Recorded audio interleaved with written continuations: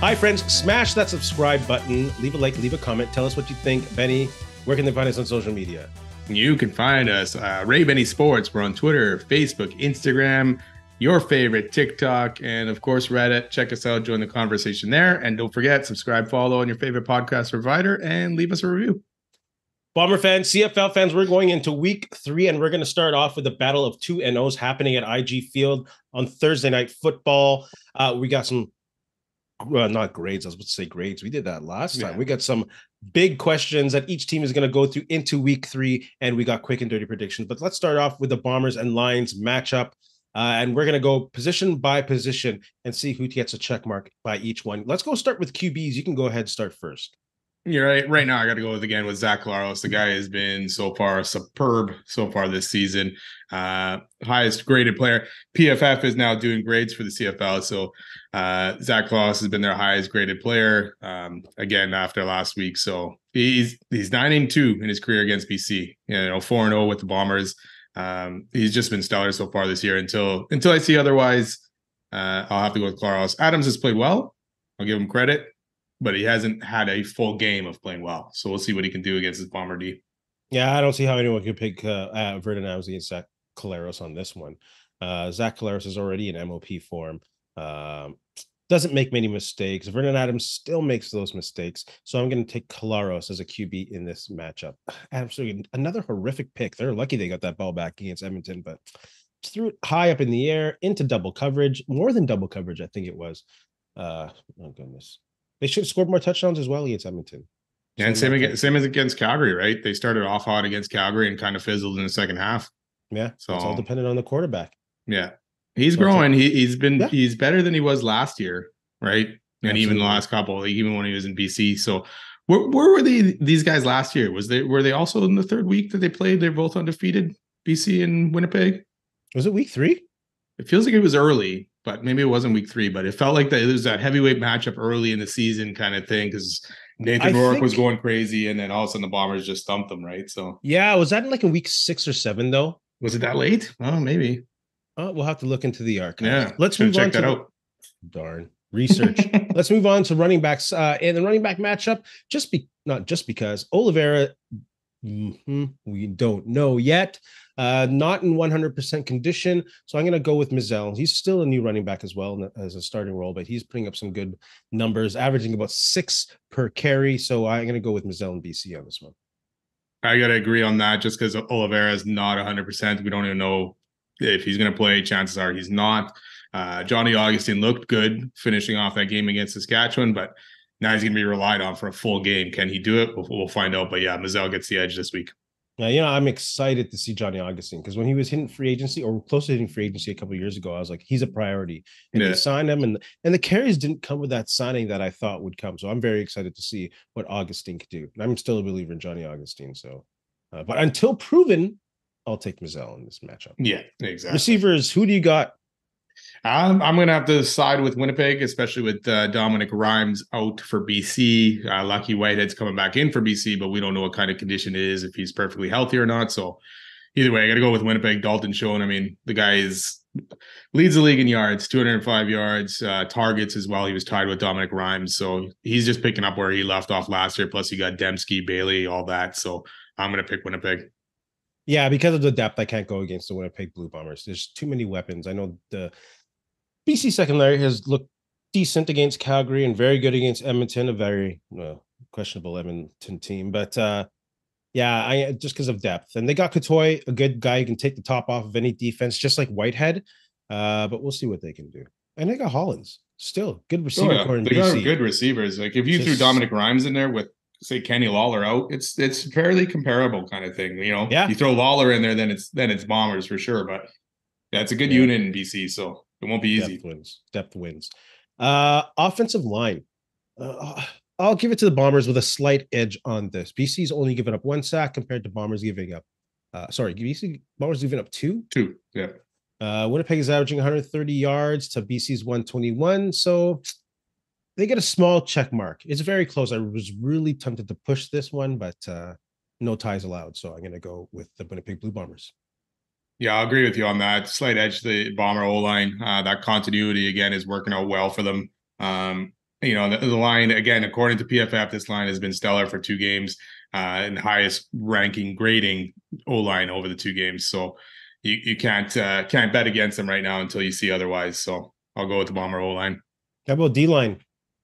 This is where I kind of get into to a tough mode because BC's defense has played well, but with a caveat, they've only played Calgary's D with Jake Martin was still struggling. Edmonton with Cornelius. So it's hard to say really where they're at. We're going to find out for sure tomorrow with this Bomber offense. Um, I'm. Mm, I'm I'm going to give it to BC with just with Jeff Jeffcoat out. Um, Mathieu Betts has looked good so far for BC's got a couple sacks, but he's been in the quarterback's face quite a bit. So um, I like what Christian, uh, sorry, Celestin Haba is doing, and Willie Jefferson have been stellar or pretty good so far too. I, have been using stellar a lot tonight. Um, no doubt. I'll, I'll, give the edge to BC. Yeah, BC got the slight edge on this one, just as all the uh, all the the uh, examples that you said already. Mathieu, um, what's his name? You just mentioned Betts. him. Betts. Betts. Thank you. Good Canadian player. He got, I think he got a shot with Jacksonville this oh, past oh, off season. Oh, uh, wow. So he's yeah he's he's he's in line to be the best Canadian defensive player in the league, if not best defensive player. Uh, but Jeffcoat is out, and you know what? one more game like uh, Haba played last game, and I'd say this might be even close to a push. But just because uh, we don't know if Haba can uh, he can play, but we'll see. I'll I'll still give it to the BC Lions on this one. Yeah, he's still a rookie, still fresh, still new, still learning things out there. So linebackers, who you got on linebackers? Uh, you know what? I'm gonna I'm gonna give this one to the Bombers. Um, like again, I could almost go to a push on this one. Uh, Lokombo is is played well for BC so far this season. Uh, Bighill has also played well, and I'll, I'll give the edge just because of Malik Clements there so far for the Bombers is, uh, you know, has chipped in a sack, forced fumble. Um, Bighill looked dangerous last week. You know he's going to come back strong after missing a couple opportunities for sacks and defense not playing as strong as they could have last week against Saskatchewan. So edge to uh, the Bomber linebackers. They got Darby as well, who's a great yeah. player, and that's not taking away from the combo. He's a tackling machine. Dude's one of the best in the in the league. But Malik Clements is just making plays all over the field, like his teammates and his coaches have said this uh this past week. So Bombers have the edge in linebackers. Defensive backs. Hmm. I'll give it to the Lions here. Uh, I know they played the Elks last week, but whenever you can hold a team to under 100 yards uh, in the air, that's pretty prime. Uh, I, I, know the Elks are brutal, but and zero points in a passing league. Yeah. And Bombers are missing Demerio Houston. Uh, the Lions have the advantage in this one, so I'm going to go Lions secondary. Yeah, I'll have to give the edge to, to the Lions as well, just because of Houston being out and how much yards the Bombers gave up last week. As, as a D, I'm not just blaming these guys, but Desmond Lawrence didn't look great. I mean, we talked about it, but Harris had a lot of time sometimes to look for his guys. Uh, and uh, what is it? Abu Darami Sawari? I don't want to say that yes. wrong. I probably did. Is making his first start, you know, in the CFL. So it'll be a bit of a learning curve for him. So we'll see what happens uh, out there. But right now, with these injuries, I'll give it to BC. How about special teams? I, I got to give it to Winnipeg on this. Uh, Castillo is ahead of Sean Whyte right now in the field goal department. So far, 100%. Sean Whyte was 85, I think. Uh, Janarion Grant, you know, bounced back last week. And also, what, he had two at least returns against uh, BC last year. You know, and, and Jamieson mm. Sheahan, that guy has been booming these punts almost at a 50 average. So I give yeah. the Bombers edge on the special teams. Yeah, I give them the edge because of Janarion Grant. Uh, this might be, just be the beginning of some crazy season if he goes off. Uh, Castillo and Whyte, I they're they're in the same category of kicker. They're they're the elite part of the elite, I guess, bracket of kickers. Maybe yeah. maybe Sean Wright's fallen out of that or falling. I'm not sure, but I'll still keep him in the the elite kickers there. Let's talk about crucial questions for each team going into week three. Let's go from west to east, starting with the BC Lions. You got that crucial question going into week three for BC? Yeah, my question to them is about their D. The D so far has looked pretty good. Can they slow down this Winnipeg offense? So yes. far, I mean, so far, you know, Saskatchewan hasn't been able to. Hamilton hasn't been able to. Uh, it'll be a good test for BC. I think Winnipeg will still put up some good points against BC uh, in this one, but it'll be a tougher battle for sure. Yeah, BC's proven to be able to put a bit of pressure on the quarterback, but we'll see if they can stop a good running game. If the Bombers can get a good running game going with Augustine, who knows? Uh, I think that'll be a, a, huge deal in the game. the Bombers can get a good running game going. That'll change everything. That means they can't drop their linebackers back and take care take care of the coverage more against yeah. a pretty lethal bomber air attack. Uh, I'll go with the Montreal Alouettes. Can the Alouettes talking about running games? Hmm. Segue. Can the Alouettes establish the running game with Stanback? Uh, he got 88 yards from scrimmage last game, but only 42 was on the ground, and he averaged like 2.6 yards per carry. That is not usual Stanback numbers. And if they're going to be successful, uh, especially if that Hamilton D line comes together this week, who knows? That's a question coming up. But that number uh, has got to pretty much double if the Alouettes are going to find any consistencies in the offense. They have to get that running game going with Stanback. Yeah, for stand, sure. Stand back. Yeah, they, they do need to get him going and they have to take some pressure off Cody Fajardo to be that guy uh, to lead a team, right? They need all aspects of that offense going and the running game is going to be big, especially he was hurt a lot last year, right? So we'll see what he can do coming back from injury. So totally agree. I'm going to go uh, with Winnipeg next here. Um, and it, it, goes into question with the same with the BC. Can the D return to the dominant D that they were in the last few years? Um, I don't know if they're going to get back to that dominant especially with the injuries to Jeffcoat and stuff like that, and injuries right now to the DBs back there. But I, they almost just need to be serviceable at this point. You know, and, and, last week they gave up a lot of yards, but they didn't give up tons of points. And they shut down after that second or that third Saskatchewan touchdown, they shut things down. Two field goals only after that for the rest mm-hmm. of the third and fourth quarters. So they don't need to be that shutdown D necessarily this year if the offense is playing as well as they are, but they need to just kind of get middle of the pack, middle form kind of thing. Yeah, they got to get a pass rush going. Yeah. And, and Vernon and Vernon Adams, you Harris got away quite a bit last week, right? So yeah. you think Vernon Adams should be able to get away a lot easier than Harris did. So yeah, but the pass rush will definitely be different. Rather than trying to push him out of the pocket, you're going to try to keep him yeah, in keep the pocket. him in there. Yeah, especially with Willie Jefferson being batting all these balls down so far in two weeks of football. I think he has like three in two weeks. Yeah, like and Vernon Adams is not that tall. So if you can get in his face, keep the pocket around him, and collapse it, yeah. Uh, rather than you know get this crazy pressure. Maybe you don't have to blitz. You can send back hill, uh, back hill, big hill, pressure into the coverage a bit more. I, I think they'll be okay. I'm yeah. excited to watch it now. Can't wait. Oh, it'll tomorrow. be a fun one. Uh, Hamilton Tiger Cats. Can Matthew Schlitz Schlitz Schultz continue his play from last game? Uh, he came in. He went 13 for 14 and went 118 yards and a crazy touchdown to uh Ternowski. But you know, don't don't get me wrong, he's not going to go on that pace again. But if he can ignite the team and get the team to rally around him, uh, Hamilton Hamilton could catch Montreal unawares in Hamilton's home opener. We'll see. Yeah, and and you already got James Butler, who's played pretty well, right?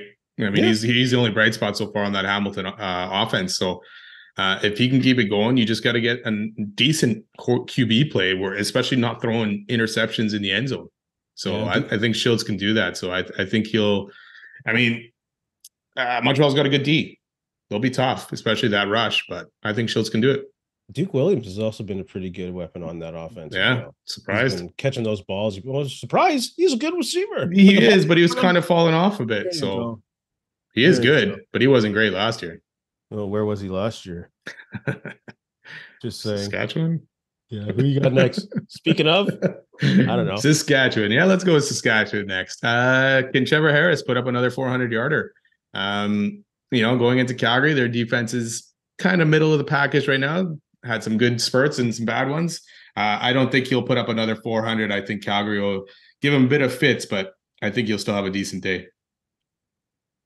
Yeah, I agree with you. I agree with you. Uh, I have the Toronto Argos. Will Chad Kelly take a step forward in a game that they're expected to win?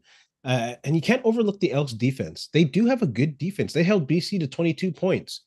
Uh, you know, uh, and they're supported by an offense that gave them zero. So if Chad Kelly can get into a groove, yeah, they'll be good. But if he can get frustrated, things don't get well, we'll see. All eyes are on Chad Kelly. You know, he's starting to kind of get a bit of star around him. So as this league stars for star quarterbacks, like we talked about last week or last episode. Sorry about that. Seems so long ago, but yeah, can Chad Kelly take that step forward? Yeah, it'll be a good test. It's on the road, right? First home, uh, first road start. Sorry, um, and yeah, Edmonton D has played well or good enough kind of thing to keep Edmonton into games and give them a chance, yeah. but that offense has struggled. So it all depends. Is Toronto's D going to be ferocious and give that ball to Chad Kelly, you know, in great field position all the time? we'll see. But yeah, I think he'll take that next step and kind of move forward in showing that he's a starting quarterback in this league. I hope so. Yeah, the league needs it, man. The league needs it. And speaking speaking of Edmonton, you know, how long does Chris Jones have left to turn this around, especially that offense? Um, I don't know, man. I know he cleared out that whole team from last year and basically started fresh, but I think you almost got to look at this probably halfway through the season and see where he's at and see if this off. He's sticking to Cornelius. He's sticking to him. How long will he stick to him tomorrow? We'll see. But or uh, sorry, this weekend, but we'll see. But he, you know, he's tying himself around Cornelius, so he may sink or swim with him. Um, I, I think McAdoo will leave before him. No, yeah, probably. Yeah, I mean, you always blame the coordinators first, right? Save yourself a little bit of time. Exactly. That'll, that'll give them time to finish the season. Yeah. And then they'll have to reevaluate. They'll have exactly. to reevaluate. Yeah, for sure. Uh, for me as well, we'll head to the other side of Alberta and go to Calgary. Other side, I guess the bottom side. and Calgary uh, was last game by Jake Maier. Was it a sign of things to come? Probably not the 300 plus yard game again, but maybe somewhere in the middle. Uh, he looked like a decent quarterback, but again, it was only one game against an Ottawa D that wasn't great. Saskatchewan D, they got a good pass rush. They got beat up pretty bad against the Bombers, so we'll see what they can do. Yeah, he had an okay, okay game. a fluke touchdown here, a la da touchdown there. It doesn't look too spectacular. Friends, put your questions that you have for your team or other teams or anything about the CFL, like how they can't get stats right, even they can't get live stats on individual players. It's just I can't. I can't. Never, never mind about live stats. I was trying to look up stats today on CFL.ca, and there are no stats. Yeah, no career stats. Nothing. No career stats. No. What is? Oh my, oh my god! Gosh, it's like they're stuck on dial-up. These guys oh. can't figure it out. They ran out of free AOL CDs. Oh, no kidding. Man. let's talk about quick and dirty predictions. Uh, let's start Thursday night football. BC at Winnipeg. Who do you got? I'm going to go with the Bombers. They're at home. That offense is uh, on fire right now. I think they they'll have the edge on BC and and the continuity, like we've talked about. A lot of the same guys back and that offense is purring. So I'm going to give the edge to the Bombers in a win. Yeah, close game, high scoring. Bombers will take it at home. BC is also on a short week and on the road, so I think that'll work against them uh, in this game. So I also got Winnipeg, Montreal, Hamilton. Who do you got in this game? I'm going to take the Ticats. Um, just like we said, Butler has played well, so if he can continue that, and if Shiltz, you know, serviceable, no turnovers in the end zone, I still don't know what to make of Cody Fajardo there in Montreal. They weren't great in that first game against Ottawa, but they got the job done. Um, but I will give Hamilton the win this week. Yeah, Hamilton will rally around Shiltz, I think, like I talked about earlier, and uh, that includes their defense. Hopefully, their infighting is done. Hopefully, Steinauer got control of that because that's ridiculous. Uh, so I'm taking Hamilton to win at home in their home opener. Saskatchewan at Calgary. Uh, it's not really an upset of the week for me, but I'm going to call it an upset of the week because Saskatchewan's on the road, still missing some pieces. Uh, but I think they're going to come out of last game with a bit of confidence, and they'll they'll put some points up against Calgary, uh, outpoint Calgary, and you know there might just be just as many green jerseys as red jerseys in the in the stand. So who knows? Yeah, yeah, I'm going to agree. I'm going to pick uh, the Riders as well. Even though Dave or yeah, Dave Dickenson is six and one against his brother all time. So um, including two and zero oh against Saskatchewan last week. But yeah, I I like the trajectory of Saskatchewan better than Calgary's after last week, even though Saskatchewan lost. So I'm going to go with them. And the last game of the week, Toronto at Edmonton. Who do you got? I'm going to go with Toronto. Uh, sorry, Edmonton fans, but the losing streak at home continues. Um, it's unfortunate, but I think Toronto will be too much for Edmonton. Yeah, Edmonton literally can't put points on the board. They can't. No. They're horrible. Ugh. No. Is it going to be Locksley in next? I guess for Cornelius, not Ford. So it seems like Locksley is the uh, number two, but I don't know. You got to try something. You got to go with someone different. My gosh, it's just. I feel sorry, for I feel for Elks fans, man. They're just right going now. through the. Uh, I can't even swear. Benny, do you have anything to say to our friends? Uh, you know what? Thanks a lot for listening. Don't forget subscribe, follow, and uh, have a good weekend. Yeah, smash that subscribe button. And like LeVar Burton says, we'll see you next time. Hey, friends and neighbors, don't forget to check us out online on Facebook, TikTok, Instagram, and Twitter at Ray Benny Sports. And don't forget to check out our YouTube channel. Leave a like, leave a comment, tell us what you think.